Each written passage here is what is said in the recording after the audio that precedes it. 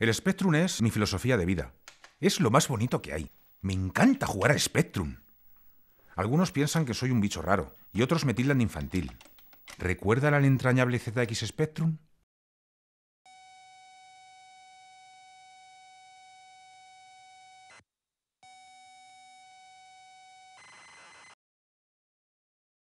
A principios de los años 80, Sinclair introdujo este vanguardista ordenador personal en el mercado.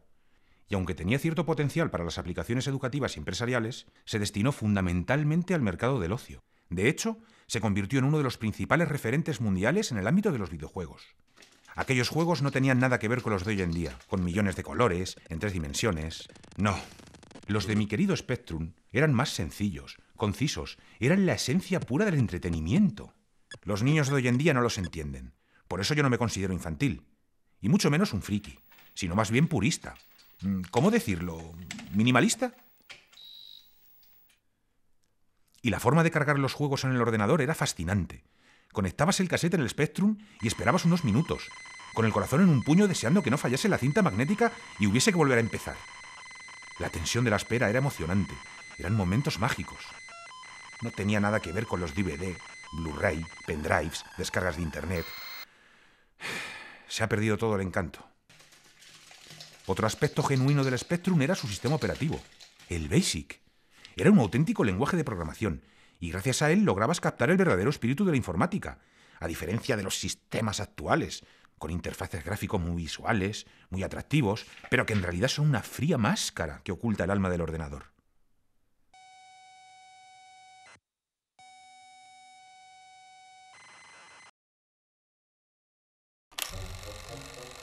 Estoy seguro de que hay muchos más amantes del Spectrum como yo. Gente auténtica y minimalista. ¿Verdad que sería genial que alguien lanzase una convocatoria a los nostálgicos del Spectrum para volver a jugar a los clásicos? ¿Pegar unas patadas con el Exploding Fist? ¿Cortar unas cabezas con el Barbarian? Por supuesto, la convocatoria sería a través de la prensa escrita, emulando las revistas clásicas. Nada de quedadas por el Facebook, que las mal llamadas redes sociales son un invento contra natura. Yo he tenido el honor de hacer esa convocatoria. Hola, tú eres Alex, ¿no? Sí, hola. Soy Ignacio Javier. Perdona el retraso, es que hoy he estado un poco liado. Primero ayudando a mis padres en la carnicería y después haciendo un recadillo. Tranquilo, Nacho. Solo te has retrasado tres minutos. Yo acabo de llegar y de momento no ha venido nadie más. Ya estamos todos.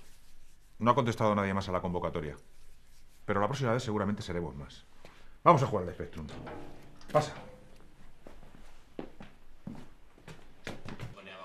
Me parece increíble. Después de tantos años, por fin he vuelto a quedar con alguien para jugar al Spectrum en el salón de mis padres, como cuando era una Levín. ¿Cómo echaba de menos esta sensación? Bueno, ¿qué juego ponemos? ¿Jugamos al Fernando Martín?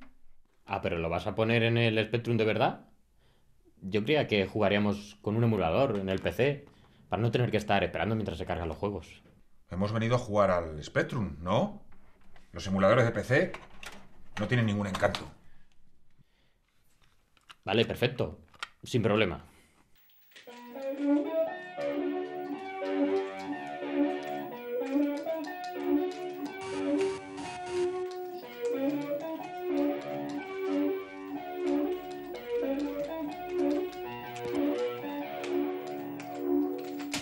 Uf, qué paliza me estás dando, tío. Parece que entrenaras a diario. Me has pillado. Desde que hablé contigo hace un mes, he intentado practicar al día al menos dos horas. Qué cachondo eres. Ah, ¿es cierto? Eres muy friki, Nacho. Ignacio Javier. Friki no, minimalista.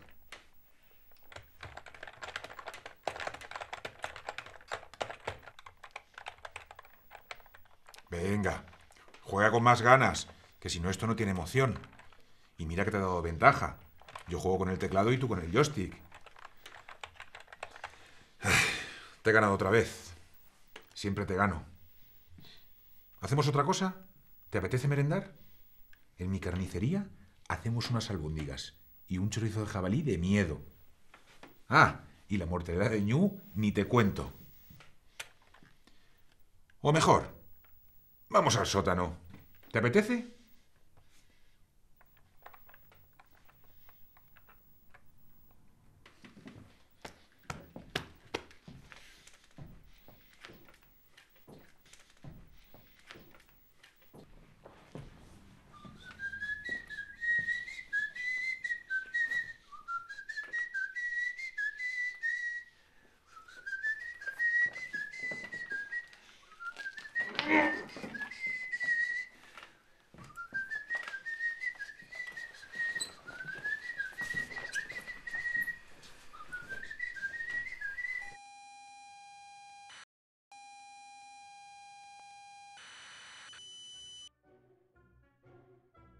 Solo hay dos cosas en la vida que me apasionen tanto como el Spectrum.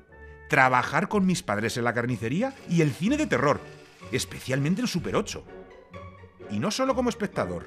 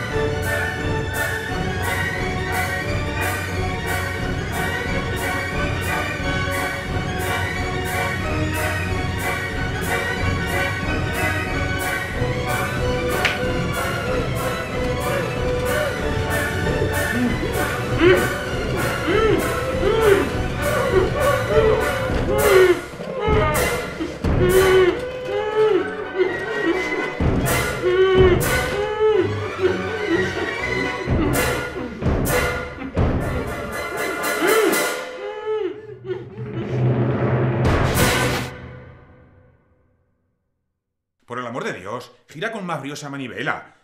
Que estos carretes de películas solo me duran tres minutos y medio. Y con más cariño, ponle sentimiento, que estamos rodando el Romeo y Julieta del siglo XXI.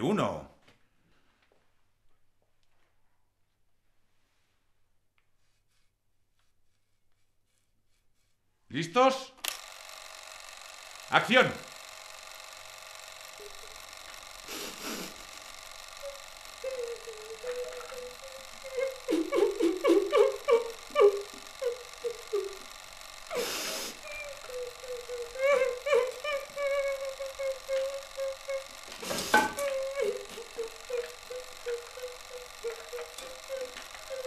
Estamos haciendo historia en el séptimo arte. Esto es auténtico cine de autor. Minimalismo en estado puro. Y no las porquerías que hacen los niñatos de hoy en día con el móvil. Malditos frikis. Eso sí que son frikis.